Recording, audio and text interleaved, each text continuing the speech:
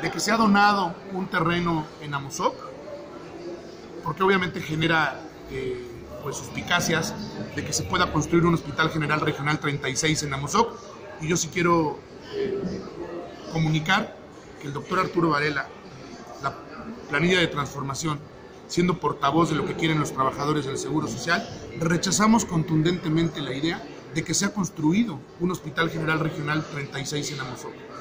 principalmente porque se trata de otro municipio y esto generaría un gasto en el traslado de mis compañeros, en gasolina, en transporte. Segundo,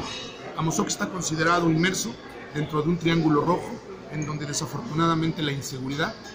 se ha hecho dueña de esta área. Y no vamos a permitir que haya un feminicidio, que haya un levantón, que alguien de mis compañeras de enfermería, mis compañeras mujeres que son las más vulnerables, tú lo sabes, las cifras que existen,